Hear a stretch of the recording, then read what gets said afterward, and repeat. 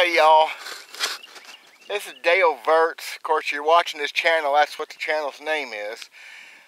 Real quick, I wanted to make an explanation. I started that channel several years back, not understanding what YouTube was really all about. And uh, more to document some fishing things, some trapping things, taking my daughter fishing things. And I kind of got bored with it. I didn't realize what it could do for folks. And uh, how far it would go or how far it could go. Anyway, here's the point of this. Last summer I started up a new YouTube channel and this winter a whole nother one. I'm out here arrowhead hunting by the way and I thought it'd be a good time to talk to myself, to y'all. Um, and when I started trying to publish videos, this old channel came up. I'd forgot about it mostly. So I actually posted some videos on it by accident because it's all technology and I don't do technology very well.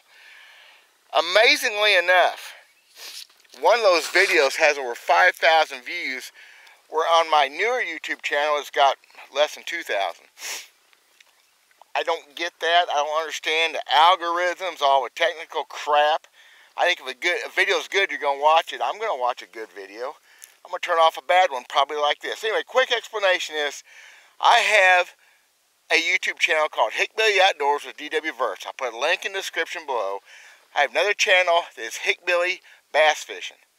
So I'm going to plan on doing some fishing stuff on Hickbilly Outdoors, but the bass fishing stuff I'm keeping separate because it screws the algorithms up, whatever that means. Main point is, I'm not going to be putting very many videos on Dale Verts. That is the most boring thing but apparently a lot of people watch it with 5,200. I mean, it's gaining hundreds of views rapidly. So, please look at those links, check them out, subscribe, whatever. I really appreciate the folks that watch my crap, because I know it's crap. It's just me being me. God bless you guys. I am Dale Verts. I'm also DW Verts. I'm a Hickbilly. God bless.